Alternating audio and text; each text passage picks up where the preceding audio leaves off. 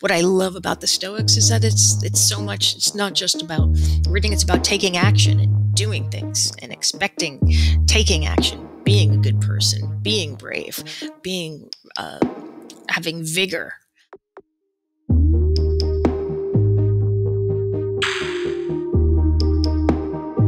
I love Charleston. Uh, I wrote my first book when I was living in New Orleans. Uh, Charleston felt a little smaller. Mm-hmm. And uh, actually, we have. Um, I met Matt Mullenweg, yes. who's a, a buddy of yours. I met him because we were at a dinner party and we both bonded over one of your books. And uh, no way. Yes, uh, and I I love that. And actually, Matt is in my book. I talk about the story about Matt told me this funny story about how he was um, on a plane and a guy took off his shoes and the smell took human form and ran around the cabin and so yes. the um, the stewardess took two bags of coffee beans and told yeah. this guy to stick his feet in the coffee beans so i'm always like never drink coffee on an airplane so, That's amazing. Well, you yeah. know, one of my favorite passages in meditations is Marcus Aurelius clearly sitting next to someone with BO, and he's mm-hmm. like trying to decide whether he should say something or whether he just has to put up with it. And I think about that like pretty much every time I'm on an airplane. And I just think like how so much has changed and then things are exactly the same. It's true. I have no sense of smell. I am completely anasomatic. And um, my son plays hockey, and you never want to parent the smelly kid. And because I can't smell, sure. uh, I figured, well, regular soaps and detergents aren't going to do it. So I went online and I found Gorilla Wash monkey cage cleaner, which is what zoologists use to hose sure. down their cage. And I figured, well, if it works for primates, it's probably going to work for my son's goalie equipment. And uh, my husband and son said that uh, the smell of monkey cage cleaner is actually worse than a nut cup. So it didn't work. no, I have a terrible sense of smell too. I had to have two operations on my nose. Uh, for various reasons over the years and they just it screwed up my sense of smell and I, I basically can I can only smell things if it's like turned up to 11, basically. That's funny. There is the short straw of anosomatics or cacosmia, where everything smells like the worst thing in the world. I think okay. be, because of I lost my sense of smell when I was in my 30s. Um, and having a bit of actor's training, I have a strong sense memory so I can remember, like, if I say gasoline, I can now yeah. experience gasoline. Um, sure. But uh, usually, when you're playing sensory roulette, most people say, "Oh yeah, I'll get rid of my sense of smell." But now that it's become more of an issue with the with COVID, it's been interesting how people are right, saying. How do you how, know? How do you know exactly? Exactly. Um, well, where I live in in Austin, that we have this thing called cedar fever, and uh, it's it's like this allergy from the cedar trees, and it it mimics the symptoms of COVID almost exactly. So it's a it's been a wonderful two years of like, wait, do I have it? Do I have it now? And then is it allergies? I guess I'll have to wait. And uh, it's weird how the body plays tricks on us. It is, and that cedar smells so fantastic, and then you remember that it also is what people use in hamster cages, and then you can ruin it. So I think that uh, so much about life is how we perceive. Uh, this morning, I got up and I was reading a little bit of um, Emerson, and mm-hmm. I love how Emerson said, like, nothing great in life ever occurred without enthusiasm. And uh, Jim Valvano, the baseball coach, uh, football, basketball coach, is a big here and uh, survive in advance and he really gets into the emersonian quote. And uh, it's been very sweet uh, having a son who is an athlete how uh, the transcendentalists and the stoics have really inspired him. It's been really cool. So this morning i told him you know my within our family, we don't have any technology at the table, only philosophy books. And he has grown up with Daily Stoic and all of your books. And, Aww. and um, so he is he's just outside of Charleston. He's the captain of his crew team. And he sent me this really sweet note. And he was saying, just, you know, write it on your heart that every day is the best day of the year. He who is rich, who owns the day. And that was a That's very so sweet lovely. thing to get from us. Oh. Well, we're all very stoked. Well, I was thinking of you as I was preparing for this because I saw this meme, and it was uh, it was like a picture of a of a father and a daughter in a blockbuster video, and it said, uh, "The year is 1998 your dad said you have snacks at home and your dad says you can pick out a couple of movies to watch uh, over the weekend and then it says there's nothing wrong in the world. Uh, and that was my memory of blank check which i think i probably got at a hollywood video instead of a blockbuster video because that's what we had near my house. But it just very much called me back to a time in my life where i was thinking of absolutely nothing but like how many movies i could rent that weekend. That is so charming and deeply flattered um, because when I first saw Blank Check and I was thinking, what is it about this movie? And then I realized that may be the worst movie I've ever seen in my life. And I truly wouldn't watch it again if it was screening on my own corneas. And, uh, but the best thing, I, we filmed it in, in Austin. I know, I was just reading that. Yeah, and I fell in love with Austin and have very many good friends who are based there, and uh, a lot of friends in the tech business. A ton were just there in, for South by Southwest, so that's very funny. Uh, well, I'm sorry about that. I wish I could give you those 90 minutes back there, Ryan. No, the good the good news about the movies that you see when you're a kid is going back to the this the no smell is you also don't have any taste, so you don't know whether it's good or not. It's just whether it fulfills your fantasy or distracts you for a couple hours or, or whatever. I've seen that movie many times. That's very funny, and again, I, I deeply apologize. The only thing that strikes me about that movie is the somewhat weirdness of the kid falling in love with, like that. There's a there's like a B plot of a of the man fall, uh, of the boy falling in love with a much older FBI agent. I'm not sure yes. you could do that in a movie today. Mm, thankfully, thankfully, no. And um, uh, it was. It, didn't really make a lot of sense, but uh, no. I, I had a it was I was talking to my husband the other day and he said, "What is it about about when you were doing movies?" And I said, "Well, somebody has to make the bad ones. Like they're not all going to be lost in translation. They're not all going to be apocalypse now. Somebody has to make the bad ones, and I was okay with that." Back in the ancient world, philosophy wasn't abstract, it wasn't theoretical, it was designed to help you live the best life. In Stoicism 101, we have a two week course that will introduce you into philosophy that will make you a better person. There's interviews with me, daily lessons that will challenge you to be better, give you new ways of thinking, tackling the problems of life, becoming your best self. As Marcus Aurelius says, you could be good today, but instead you choose tomorrow. Epictetus says, How much longer are you going to wait to demand the best for yourself? Check out our new course, Stoicism 101, at dailystoic.com slash 101.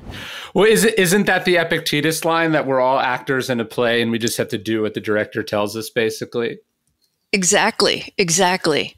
And um, it was interesting because at that time, uh, probably when you were about seven and watching, suffering through uh, blank check, that's when I really just dove into meditations. And um, it's it's interesting that in life we have, uh, you know, our native, uh, you know, our ancestry, uh, and um, but we I believe we also have our native decade.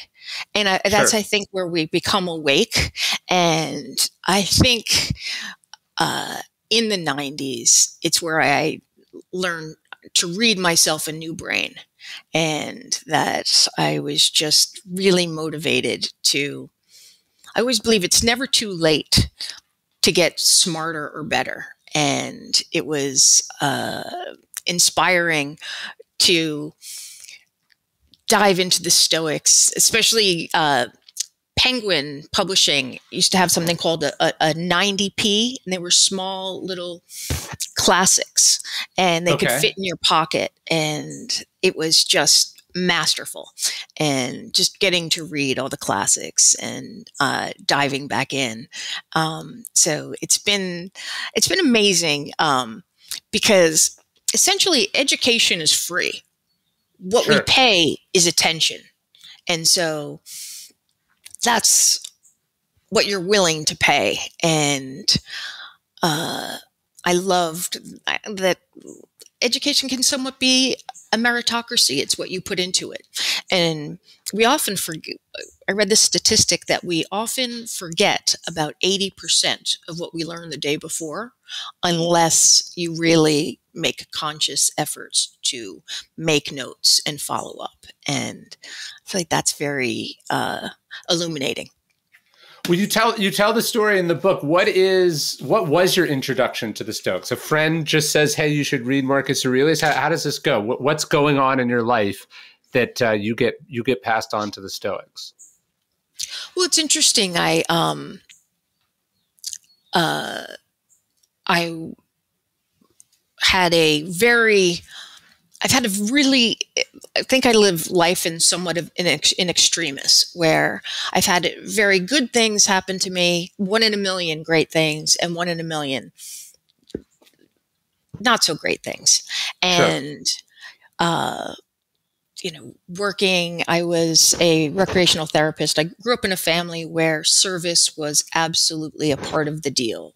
Uh, Shirley Chisholm said, service is the rent we pay for our life on earth. And so I grew up in a family where we were had refugees and foster children and we were always expected to do things. So I went on to college and got my degree as, rec- as a recreational therapist and really working with high risk recreation for people with disabilities. And essentially, the philosophy of this profession is to focus on ability, not on what you can't do.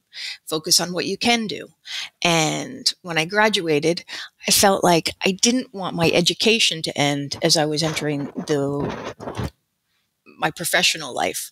So I just sure. I'm just going to keep you know keep making a reading plan which i think is so important and you know trying to read quickly and trying to memorize a quote a day that would somehow stick around in my brain. And uh, it was really, you know, when I was working on MTV, uh, I picked up meditations and have never put it down. And I love that uh, it was like the flipping of a switch. It it just made so much sense. And then uh, just absolutely finding it, finding a whole new way to live. Yeah, what strikes me about the Stoics is how long that's been happening. Like at the beginning of Meditations, where Marcus is thanking uh, all his teachers, and he thanks Rusticus for loaning him his copy of Epictetus from his own library. And you go, wow, okay, so 20 centuries ago, somebody just gives this guy this book, and it, a light goes on. The, the switch flips exactly as you said. And then yes. that's what happened to you. That's also what happened to me. Uh, hopefully, that will happen to people who pick up your book because they know you from something they never even heard of the Stoics. But that it's this sort of series of torches, you know, one lighting the other, lighting the other, that just goes on forever. It's so beautiful where you talk about Epictetus because also about you know the lamp that he had in front of his house that was yeah. stolen and about not hanging on to things. Nathaniel Hawthorne said that education is not the filling of a bucket, it is the lighting of a lamp. And again, that torch metaphor.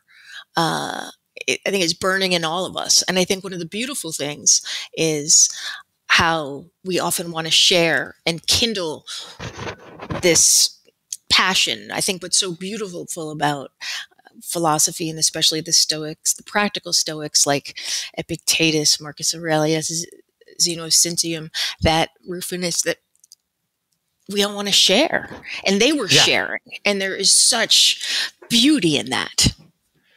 It's yeah, gorgeous. there's a pay it forwardness to Stoicism. It's not evangelism, which, you know, is this idea that like, you know, you are obligated to save someone else. It's more like this worked for me. Can I share it with you? It's it's it's it's magic, and it's there's something so attractive. Um, I believe uh, that when you're passionate, you want to share, and that was incredible when uh, my husband gave me a copy of discourses and uh, that amplification of gratitude uh, for this writing that was 20 centuries ago and how it resonates with all of us. And that's what's so beautiful. And i there's something that you're giving with a gift of the daily stoic and the daily dad is that um, often the view is well, philosophy is not for me but it's for everyone and it's just a practical way to navigate the world and it's joyful like and i love that like some philosophers are absolutely right bonkers like uh, Diogenes the cynic, who lived in yeah. a jar and said, you know, I'm like a dog, I bite rascals. And he was just a, a madman. I just love it. So, so the mid '90s, you're you're reading the Stoics. Is this before or after the diagnosis that that changes everything for you? So, um, well before, and uh, I was working at MTV. Was working. Uh, uh, sadly making the movie that you had to suffer through and working with Michael Moore on a show called TV Nation.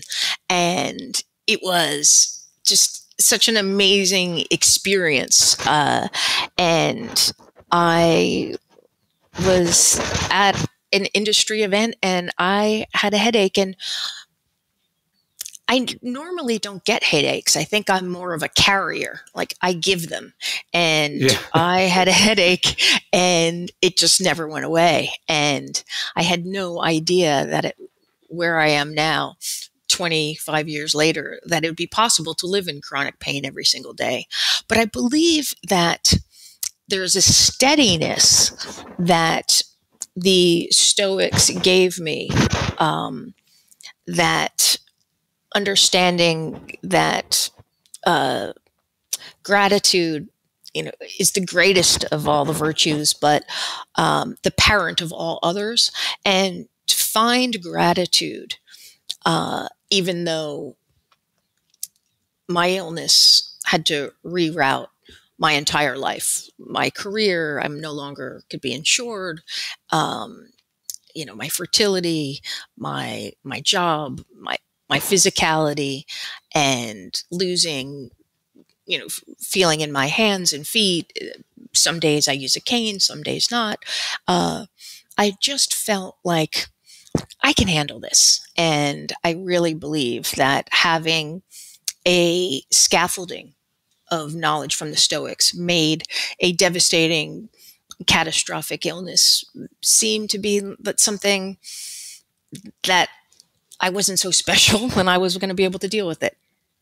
Did was it a slow moving catastrophe or was it very was it sort of quickly onset like you were you were told this is how it's going to go get ready or has it been 25 years of sort of worsening symptoms and pain? It was like a looney tunes safe fell out a window and hit me and flattened me. And uh, i've been essentially living with the safe that every morning when i wake up i have to pick up that safe and then carry it with me all day. Um, so it hasn't it, I don't know how it could get worse, but it hasn't gotten worse um, with managing chronic pain. But it was absolutely overnight. I woke up one day and felt like I was struck by lightning, and that was that was a challenge absolutely and and the double challenge of like what is my life now what do i do how do i carry on i imagine is the sort of aside from the the excruciating physical pain the grieving of so many things that you couldn't do anymore also comes into play. Yeah that's so wise. Yes it's you have to kind of mourn for your old life and figure out a whole new life. And i'm deeply grateful that i was awake to the idea that oh i'll be able to work around this and um and yeah, there are days when i am somewhat roped to my sofa like Gulliver. And then other days where I'm really kind of high functioning and I'm able to be in my friend's house and talk to you. So there's um I'm grateful for every day. And I do believe that chronic pain and happiness absolutely coexist. It, it, I think, you know, you, you can't have your happiness predicated on outside circumstances and you just have to find it where, where you are. But still, it's not the easiest thing in the world to have your happiness be independent or in spite of external things. So how do you how do you actually do that? That seems like incredibly tough. Well, if I only worked on days that I felt good, I would never get anything done. So um, it's I have to have a bit of compassion for myself and that I can't hold myself to the standards that I had when I was a non-disabled person. Um, I have to understand that that there is I'll have to have a, a sense of kindness and almost treat your myself the way that I would for somebody who I loved outside of myself. And um, I really have, I'm, I'm, just full of gratitude and really happy for my life. I, how lucky am I that this is my fifth book and I'm able to write where um, that doesn't take a lot. You know, I don't have to do stunts. I can sure. work from home and read the thing I love to do the most. So, what what turning to the Stoics then, as as your life gets turned upside down, as as you're trying to find a way to sort of muddle through uh, some of those dark moments, particularly early on, what what does Marcus teach you? I'm just curious. What what do you what do you find yourself drawn to in meditations uh, as you deal with chronic pain? Well, as you pointed out, I love the beginning where yeah. he is thanking people. And I love that he thanks the gratitude and he, and he thanks his mother for her compassion and generosity and the fact that like Marcus Aurelius was trying to teach himself humility and he was sleeping on the floor until she was like, no, get up and get back to bed. Um, I love, um, I believe, you know, I think it was Cicero who said gratitude is uh, the parent of all the other virtues. But um, I think what is so resounding is how conversational it is when you read it and how it feels like across the millennia. I think Galileo said that books are entombed minds, and the fact that we have this resource of these entombed minds that um, we can travel through the millennia and have these conversations. And I would, I mean, my main man is Epictetus. I really dig Epictetus. Well, it's it's interesting you'd like Epictetus, although also with Marcus. I mean, there's one reading of Marcus. Uh, historians suspect that he had some sort of chronic stomach pain. Obviously, Epictetus, you know, walking with a limp from the, the sort of tragic accident where his leg is not accident, the tragic uh, yes uh, abuse where his leg is broken. Do, do you feel like the Stoics speak to chronic pain specifically? I believe that pain is a part of life and um, will never escape it will always experience pain but i think what i love about the stoics is the clarity that uh, about resilience and uh, always, you know, how long are you going to wait until you expect the best from yourself? Yeah. And uh, I just didn't want to put my life on pause, and and and I expect the best from myself, and squeeze as much fun out of life as I can. Yeah, although you know, I think some people when they meet when they read Marcus Aurelius, they don't see him as someone having a lot of fun. Do you disagree? Well, I think the idea that journaling was so important to him as he's dodging assassins and um, the if you were a, a leader in the world I think you get there because you understand people and humor is such a big part of life that sure. yeah, I absolutely, you know, I think, you know, listen, there uh there was another Marcus I forget uh Marcus Aurelius Agrippus invented the first whoopee cushion, and he filled um, animal skins with air, and then had a dinner party. And then his trick was that he would have the footmen servants just completely start lessening the air, so they were all on the, under the table. Um, yeah. So I think there are some good time Charlies in there. I believe that pretty much all the interesting, radiant minds um, have a sense of self-deprecation, uh, self-deprecation, and humor. And uh, so maybe that's not what he's most known for, but I absolutely believe that he's had to have been a great storyteller and a great conversationalist. Yeah, I mean, I don't know about you, but my journal is not like filled with jokes. Like my journal's dealing with the stuff that I need help with, which is usually not having fun, right? Like that, mm-hmm. I got that covered, right? Like I need the the the journals for the serious shit. So it's there's kind of a uh, a selection bias there that I think maybe sometimes people miss. Mm-hmm. Actually, you know, in my journals and my notes, I love. Uh, I've got this guy who makes book journals, and he takes old copies of books and turns them into journals. And actually, no, I put in things that made me laugh so I can remember. I that's I work. Uh, I'm working things out, but I I have some humor in there. Well, there's there's one reading of Marcus Aurelius. It's a it's a long it's a long ago published academic paper, but that the argument was that that Marcus Aurelius's uh, stomach ailment is so bad that he gets hooked on opium, and that some of the more trippy passages in meditations come from you know what come from are, are somewhat opiate uh, uh, opium induced. I don't know how much I buy that, but I've got to imagine one of the the tricky parts of navigating chronic pain. Is, and we're obviously seeing this play out over the country uh, as we look at the opioid epidemic.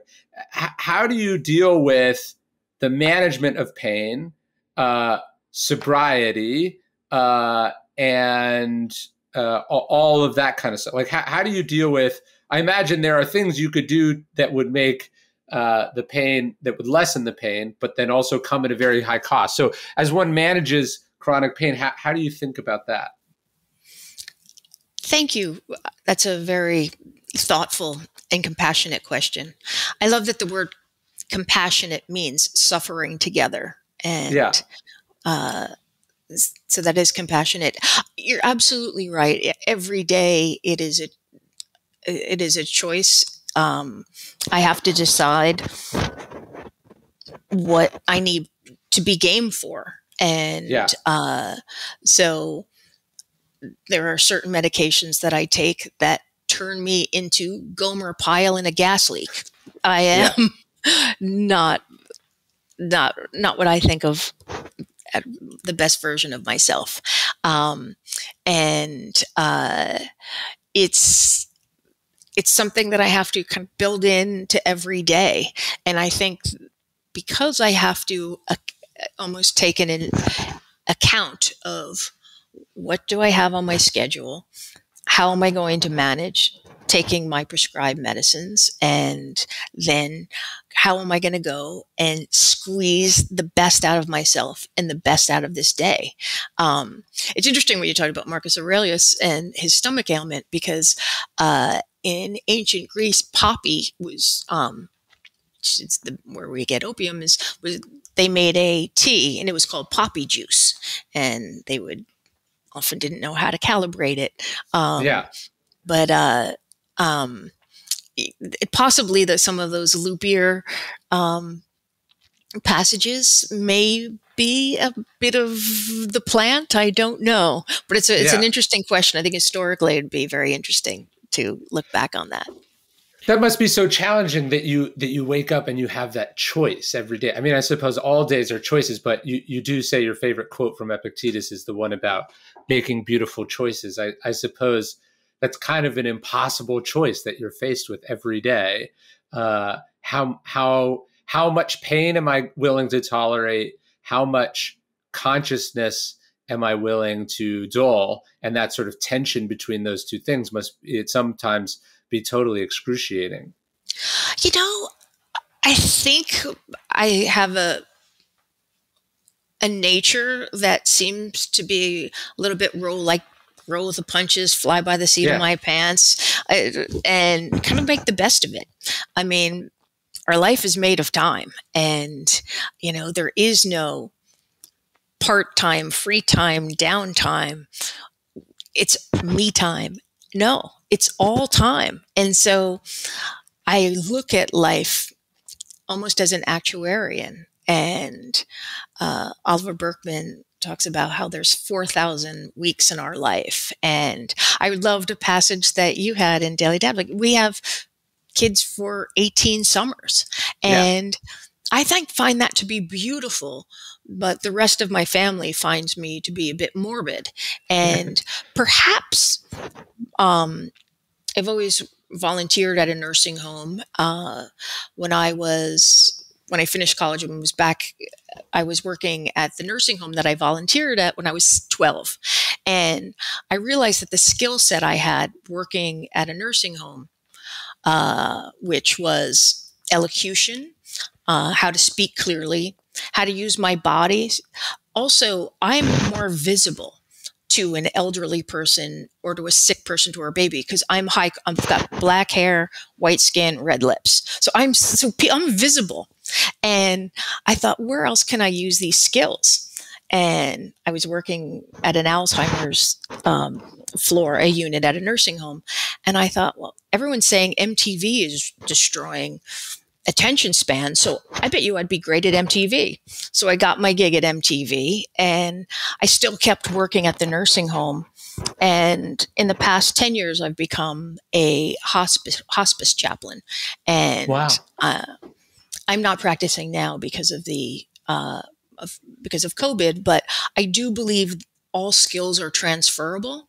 And uh, I'm deeply grateful for my experience, my training as a hospice chaplain. And I also think that, um, you know, we, memento mori, you know, we all must be prepared. And so it's been uh, not a excruciating. I think it's almost, in a way, been a gift that I'm able to live this. I never expected to have what I call, you know, I have this these extra innings. This is my bonus. I've got a round on the house. How lucky! I'm going to make as much. I'm going to make the most of it. It's been very good. I want to talk about memento mori at the end, but it does seem like you've had a lot of different lives, right? That uh, you've your your career and your life has had a lot of different chapters.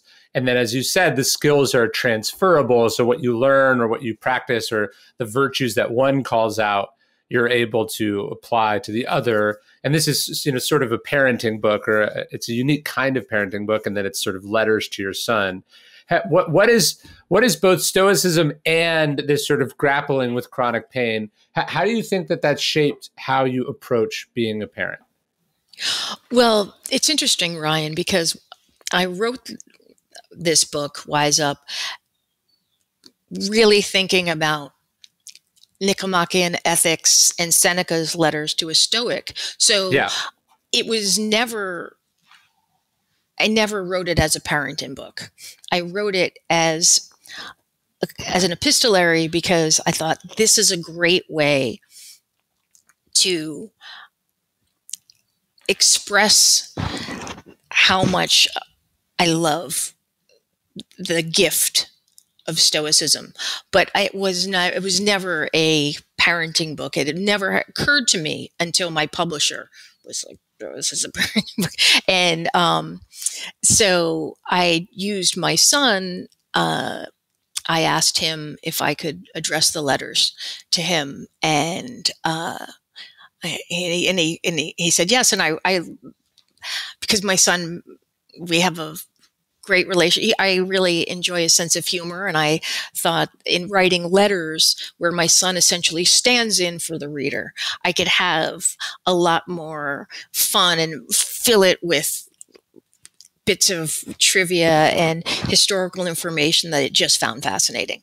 So it was really a way to write the most entertaining book that I was proud of. I am a bit of a magpie. I find bits of information and treasure them up, and then I, I, I could tell by, by um, reading all your books. Um, and that's what I love is that you know, like you've lit the fuse for so many people who uh, their lives are going to be enhanced because of sharing the sharing of the knowledge, which is such a gift. Um, so thank you for that.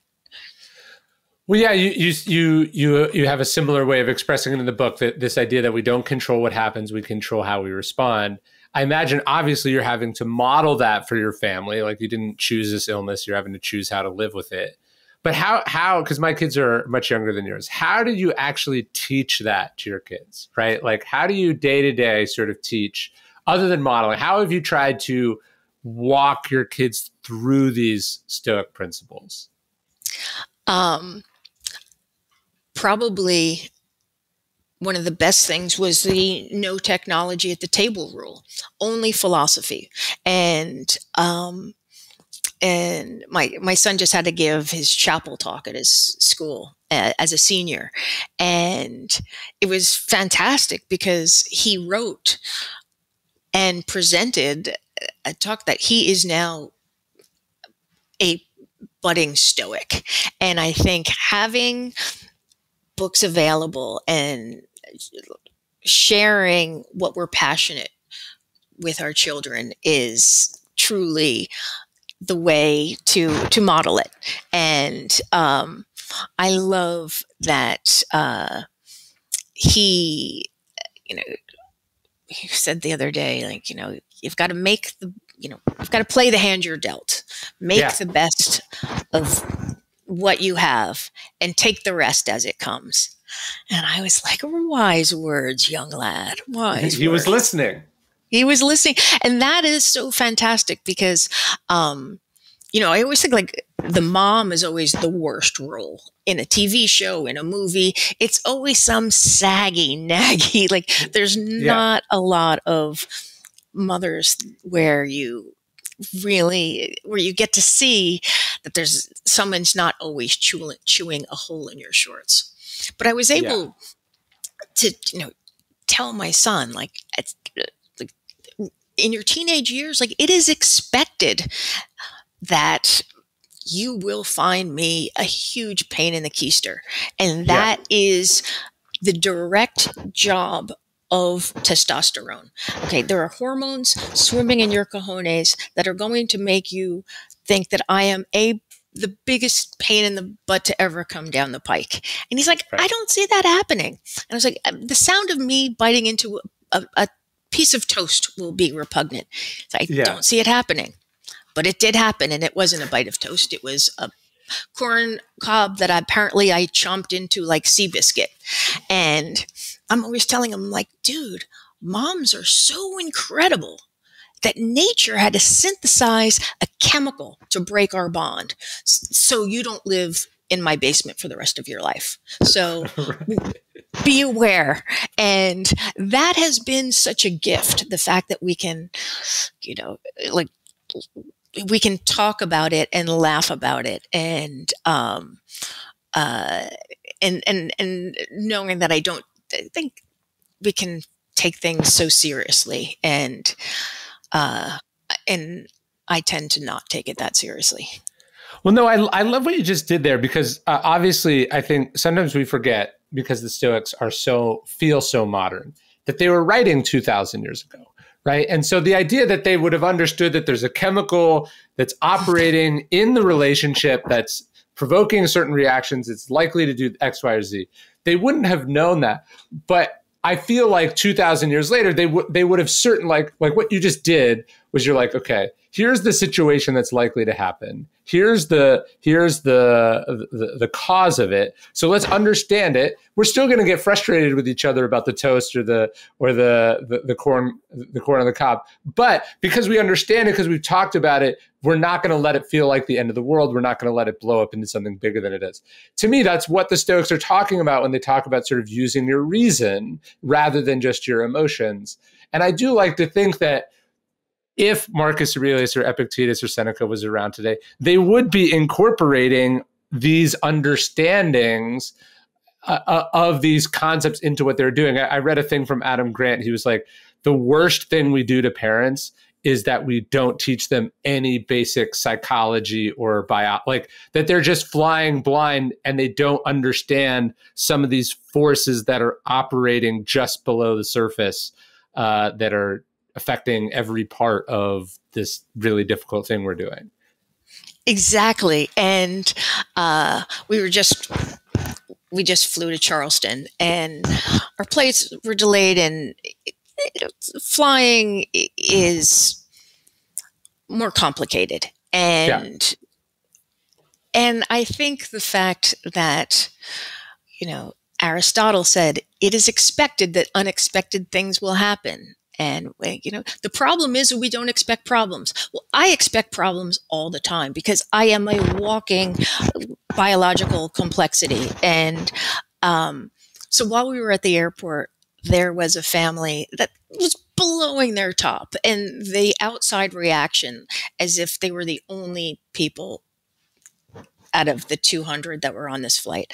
Sure. and it was a really the three of us we just we, we had compassion for for everyone who had to deal with them. We, we also tried to have compassion for the people who were blowing up. But you, the fact that we understand that life will not be perfect, and I can I can accept that, and that was something that was really great to see my son take in this information and also now being awake to the idea that unexpected things will happen. The problem is we don't expect problems. Yeah, and I mean, we, my wife and I were just doing this yesterday. We, we went to this drive-in zoo uh, down the street from from our house, and and so we, you know, we, we thought like our kids would have this amazing time, and they did. But on the way back, my my son who's five had just like a complete temper tantrum. He wanted to watch something on our phone, and we said no, and he just had this complete meltdown. He's like screaming all this stuff, and and there was a part of me that's like, you know, you can't let your kid act that way. Why are you treating me like this? We just gave you everything you said you wanted. And then it was like, wait, when, when did we eat last?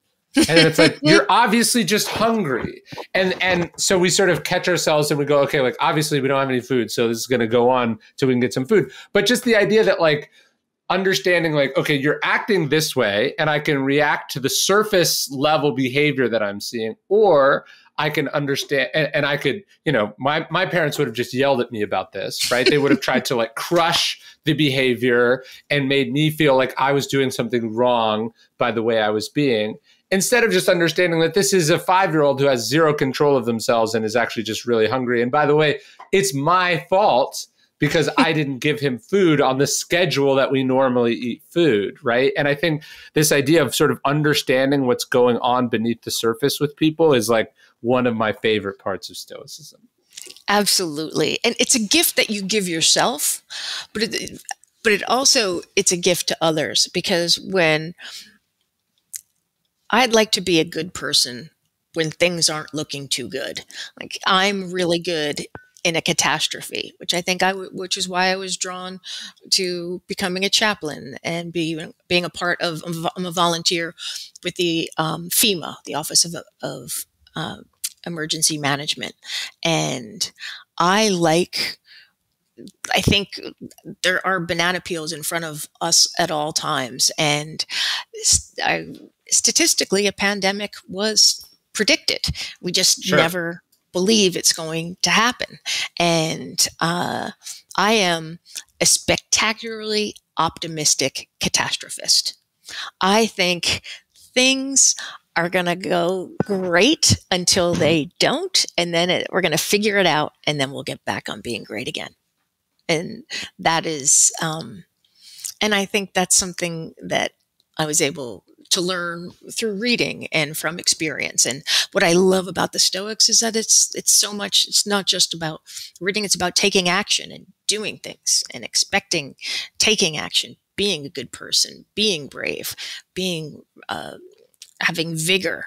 I love like I do see humor and vigor in the Stoics. Like, of course, I feel in a way that they are our friends. you know, you know, I spend so much time with them. Sure. No, I mean that's that's what's so incredible about what Marcus manages to do in meditations is that his life should be utterly incomprehensible and unrelatable to us. He's literally worshipped as a god. He's the most famous person in the world. He's the most powerful person in the world.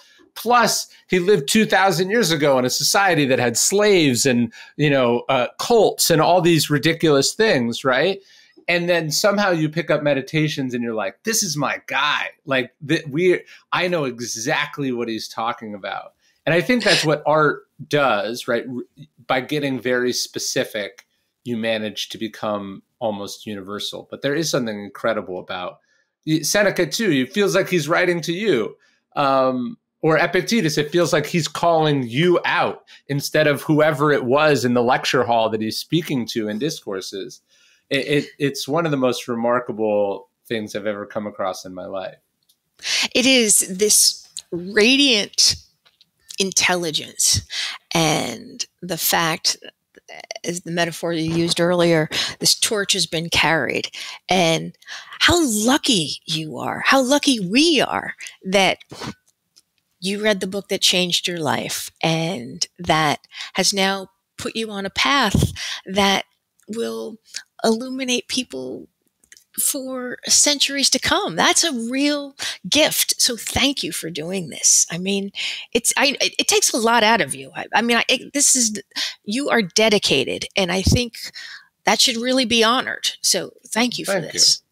I really well, so you it. you met you mentioned Jim Valvano earlier, and since it sounds like you get Daily Dad as well, the other email that I do, I, I can't get over that exchange he tells about his dad. That he tells his dad he wants to to be a coach in uh, in Division One athletics, and his dad, you know, goes in the other room, and it says, "Jim, come in here," and he comes in there, and he goes, "You see that suitcase?" And he goes, "Yeah," and he's like, "My bags are packed." to watch you play in the or you know to watch you coach in the final four. Just this idea of being a fan. How, how, have you thought about that with your son? It sounds like your son is very into hockey. How have you thought about being a fan but also you know the, the, i guess it's a tension right of being a fan but also demanding encouraging them to be their best. How, how do you think about that? What's um it's it's interesting because my husband and my son never met me when I was sporty and active. Like when my feet and hand worked, like, you know, or I'm not constantly, uh, I can't have anything touch my neck. So they do, they didn't know me when I was a ski instructor or when I was a runner or when I was a very active. And um, my son uh, is uh, just is a goalie, a hockey goalie, and he just won the Northeast Elite Championship. It's a big, big moment. And he's been a goalie and playing hockey since he was four and playing in travel leagues since he was six. And um, one of the things that as a mom, I realized that I could, if I worried about him out on the ice where he's on razor blades uh, on of skates and there's checking and they've got sticks and he is in the net and pucks are coming to him at 100 miles an hour. If I worried about his safety, I would dissolve the joy that he gets from that. And so I really had to rely on a lot of stoic training like to as Nicholas Nassim Taleb says, I had to domesticate my emotion of fear. I couldn't eradicate it. I had to domesticate it because I did not want to become the person that robbed him of the joy of what he loves the most. It's funny. So now he's the he's captain of the crew team and he's down here rowing and the season's over and it's fantastic. And I was saying goodbye when he's off to row, and I said, you know, there is a small part of me that is somewhat relieved like okay you know hockey's hockey's done. He goes oh mom what, people die much more in crew. Just like people get hurt and i was like oh, i love you for that. Um, but when you mentioned the valvano that speech and his father's like my bag is packed I, yes. I want to have my bag packed and be supportive. Um, but it's interesting because my husband's very sporty, and I felt like a choice. Like my Jack did not need two parents that were knew everything about the sport, so I was able to somewhat you know, keep myself occupied, support him, but not know everything that's going on. And that was that was something again that I explained to him that you know you don't need two parents that are barking mad about hockey. You just need one who's like, eh, good. And I just, think that that just sort of like let let them hear let let them have this. It doesn't have to mm-hmm. be territory that you uh muscle your way into and assert your sort of adult authority or superiority over. Yes, beautifully said. I just figured he didn't need my prying eyes at the rink all the time, or I, I I've got to have him. I've got to equip equip him in the best way I can, and again, take the rest as it happens. Um, it's interesting because uh, my friend Bill's son is a D1 hockey coach at UConn. And that's been really beautiful seeing um, Luke Murray uh, coach UConn and seeing how proud the whole family is. It's been really great. Yeah, it's like, look, they're they're going to get enough pressure from basically everyone else. How can you develop the restraint to be to sort of let to not be another voice but then also sort of be the backstop that is the unfailing, unconditional support no matter what happens. Yes. I think keeping my back that has become a shorthand. You know, yeah. we, we talk a little bit um, in the book about Familect, and Familect is, are the nicknames that we call each other. It's the secret language that families have, and I love, love Bill Walton, the NBA mm-hmm. legend. And um, he really opened up a way for our family because I I was I was pretty much trying to hide that I was sick to my kid all the time and hiding chronic pain and sarcoidosis of the central nervous system is like trying to keep a beach ball underwater. It's always yeah. going to pop right back up. And when with a surprising amount of force, right? Like a disruptive exactly. amount of sprays everywhere, goes in unpredictable directions, uh, doing the exact opposite of what I'm trying to do. Yes. I'm trying to suppress this. So I figured I, this is going to do a number on his developing brain, and um, but it was really through the grace of Bill Walton's amazing book uh, Back from the Dead, where he talks about his life with chronic pain, I was like, ah, I can, I, so we, Bill Walton is in our pantheon of heroes. Like he had to tell his family, like, he had to tell his wife, just stop walking. You are pushing air on me. And I never, I didn't know how to say that. Yeah. And now I can say it. And, um, and that's and that's what's so beautiful. And uh, I write a lot of handwritten letters, thank you letters. I've written letters to you in the past. Um, I never put a return address because it's not about reciprocity. It's just thanking people for and uh, I have been doing this since I was a, a, a, kid and then picked it up again when I was probably in my late 20s, early 30s. Every day I write a handwritten thank you to some random person in the world. And um, that. So gratitude's like a literal practice for you. It's not just like I try to think about what I'm grateful for. You actually write it down every day. And I have special postcards that don't have any return address because I just want to just say, hey, I appreciate that. You do a good job. And I like writing thank you notes. It doesn't take a lot, but I feel like uh, I can imagine that in the course of three decades, like just these, no, if they all came back to me, but I, that was not the point it was really just about sending a bit of grace into the world. And it's just a short, small, tiny thing to do, but um, I really like it. And I like think about like, who am I going to thank now? Like, uh, yeah, it could wow. be, you know, somebody who works at a hostess, at a waitress, or the lady who I saw on an architectural tour. Just good job. And I mean it. Well, that's what's so remarkable about that first uh, chapter of Meditations, which I, I had someone look. It's almost 10% of the book, like by word count, is that they would have never seen it. So it's so beautifully written and so kind and so all encompassing. But Meditations was never published, and a lot of them were dead. So, one, it's the idea that gratitude is something you're doing for you, also, right? That it's the writing down, the reminding that was powerful.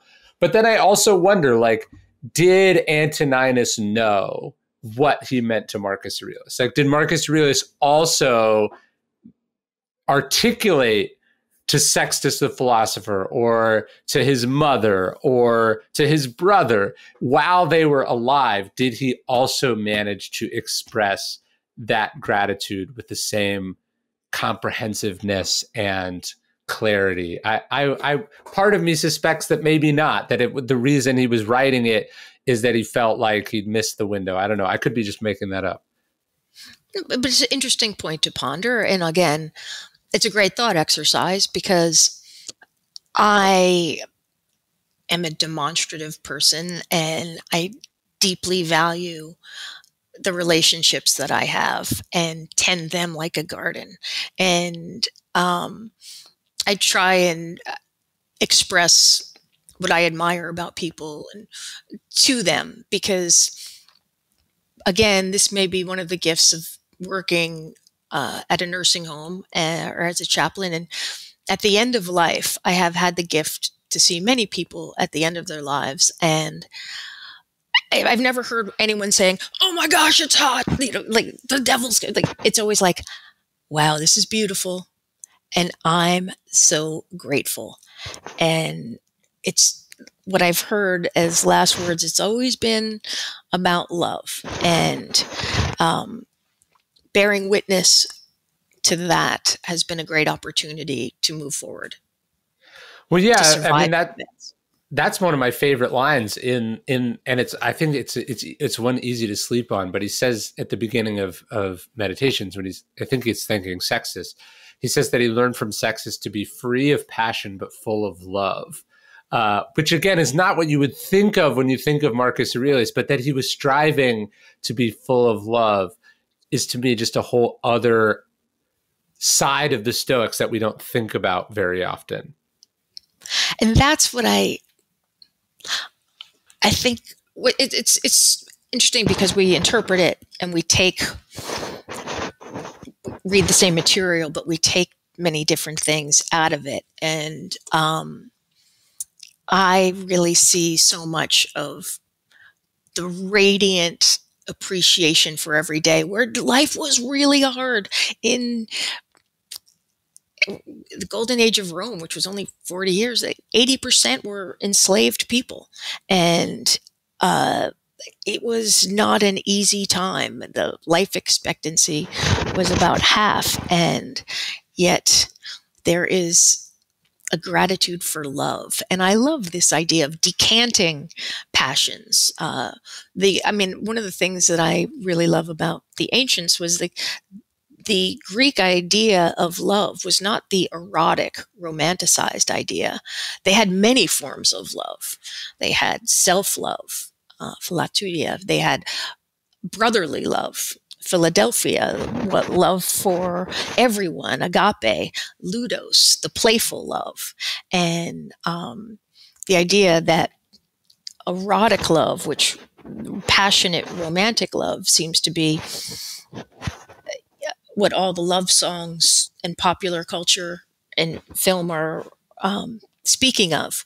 But there are so many definitions, and the fact that our measly alphabet of just 26 letters and we put four of them together L O V E, yet it contains so much. And I find that just to be unbelievable.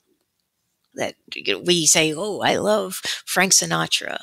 I love Charleston. Um, so that's what I love about Bill Walton, how he's always using the word love when he's calling a game. I love bicycles. I love volcanoes. I love my life. I love White, White Flory. I, I love that about him.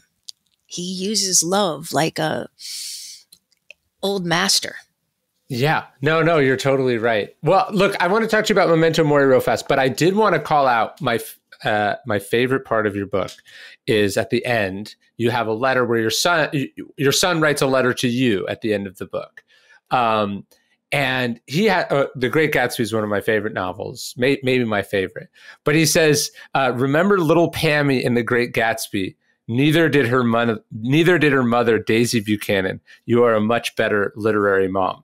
First off that's such an incredible compliment uh, to you. And to me it seems like if you could ask for success as, uh, uh, uh, as a parent that some, something like that is is exactly what you'd want to hear but you're you're totally. It's just a, I just it struck me as such a great observation because you're right. The kid is never named in the novel. The parents live these preposterously self-absorbed lives, uh, you know, obsessing about this long lost love and going to parties and what other people think about them and then you know covering up the murder and all, all the stuff that happens in the book but never once do you hear daisy uh, or her husband or uh, uh, or Gatsby himself express even the slightest interest in this in this child. I, I just thought it was very. your son has an eye. Yeah, I thought it was really funny. I also loved how he mentioned um, with my kid. I I don't do a lot of social media, but uh, if I ever mention him. And when I was writing this book, I asked for his permission because in France, if you post a social media post of your of your child, you can be brought to court and you can be sued and pay a seven thousand dollar fine. And um, so I think that it's important to at any stage understand that yes, your kid might be cute you know, with the crack of his butt hanging out, but realize that that's forever and that I want to honor. So I really, I said, Jack, you know, can we use your nickname, Lefty? And he said, no, no, I am proud of you. And Aww. I would like you to use my real name. And he's a quiet, humble man. Um, I read this interesting, but um, statistic. Uh, and it, I don't know how scientific it is, but it said that uh, the average adolescent male speaks about 4,000 words a day, and the adolescent female speaks about 20,000 words a day. And so he's a man of few words, but um, I think yeah, he can't be a gas bag like me. And um, it's been interesting to kind of draw this out of him and to be able to work on a project like this. And I was very Im- impressed that he pulled out uh, the literary mothers that he had read about. And where did I rank? It's very good. Well, my, my last question for you, uh, and I was just thinking about this more uh, because uh, we we went to the the Austin rodeo on Saturday, and my kids won a goldfish that like ring toss, and then uh, it, one of them died by Sunday night already because my son overfed it, and uh, even though I told him several times this is exactly what was going to happen, so now we're already having uh, to have this little discussion about about about their their pet dying and, and how the pet won't come back.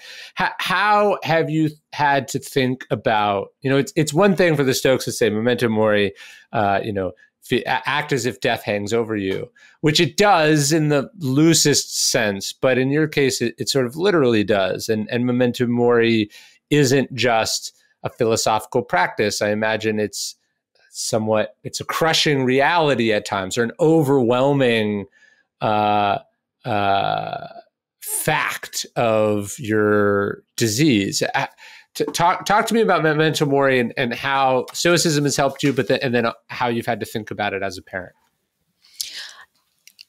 Well, I th- think because I have been I've had last rites. And then I came roaring back.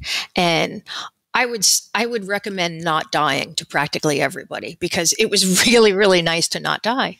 But um, I don't have that great fear, and I um, I think that uh, having a I don't think of myself as somebody with an incurable illness. I just think, oh, didn't figure it out yet. But I, it's it's interesting because my husband is super fit and is and and and a little bit more neurotic about death and maybe i'm barking mad and i, I don't fear it and i tend to spit in death's eye um, i'm glad that my husband has a maybe more level view. And I'm, I just realize at, at my son's school, there's a monument to a, woman who went down on the Titanic, and her name was Edith Corse Chase. She was only one of the four first class passengers who went down on the Titanic. And she gave her spot on the uh, lifeboat to a, a mother who had four children. And her monument says, Love is stronger than death. And that's what I believe. One of my best friends in the world has ALS. And um, we were diagnosed around the same time. And uh, actually, I, I, had a head start. I was a grizzled veteran by about 10 years. So she, she is dealing with ALS. And one of the things that she told her children was, a mother's love is eternal. And I love that. And um, I just feel that love is stronger than death, just like that monument notes. And so perhaps I do not fear death because I don't fear love. I embrace love and I believe it's eternal. And um, it is what puffs us up. My four chambered organ is pumping right now. My 40 trillion cells are thrumming right now. All I have is this moment. All I have is this day. And um uh, and I'll take it.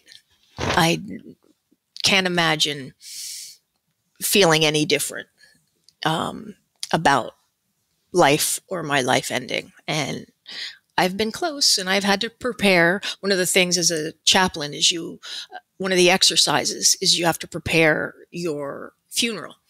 And um, that's a great thing to do. It's a good thing to think about because we often yeah. just kind of want to not think about. But, you know, I've got the margarita machine. I've got the spooky Halloween sound effects record I want to play. I mean, I've got the fireworks it's it's going to be a party. It's going to be called yeah. yeah, Duff going out with a bang.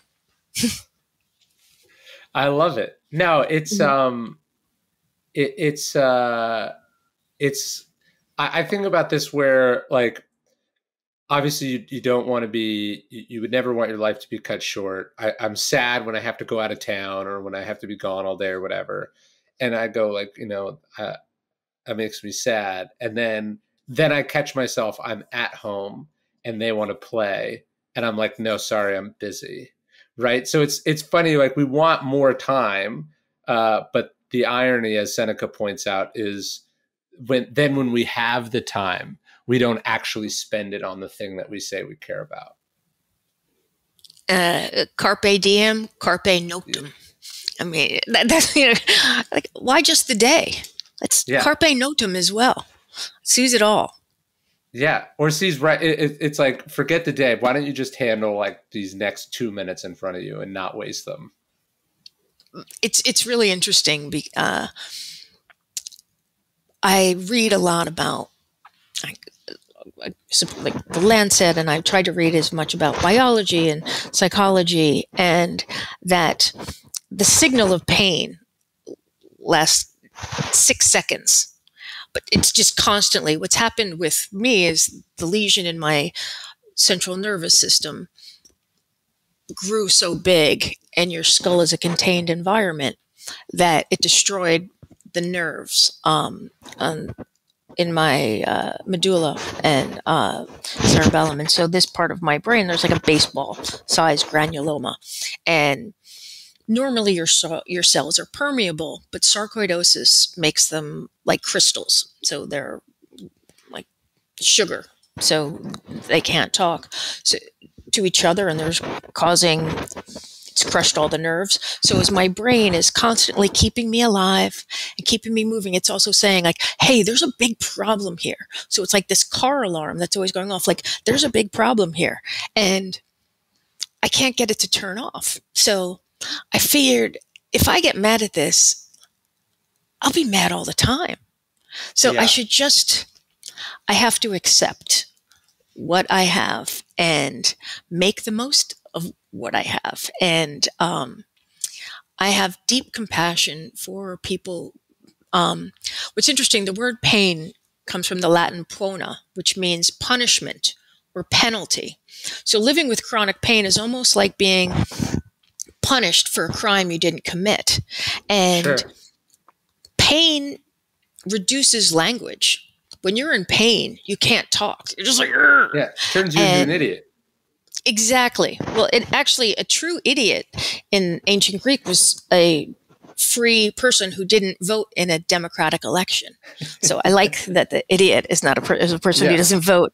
Um, idiotus. But um, yes, it does, and um, it can turn you into an object of pity or um, and uh, I just recognize that pain reduces language and that writing and talking to the world through books has been such a gift. And I think I'm much more eloquent out of my left hand than I am out of my pie hole. So it, it, it, it, worked out for me. I'm grateful. Well, Karen, I'm very grateful for the book. It was beautiful and thoughtful, and uh, it's a fun read. And uh, I'm so glad we got to we got to talk. And I don't know if uh, in 1997 or eight, when I was watching Blank Check, this is where I thought we'd both end up. But here here we are. It worked out uh, as was fated, the Stoics would say, and uh, I'm so glad we connected. But uh, I hope you have a good day, and tell Bill I'm of course a huge fan, and Tell your son. I, All right. Tell your son I, re- I really like that line. Uh, I'm going to use it. Thank you so much. Take care, man. Thanks a lot. Bye bye.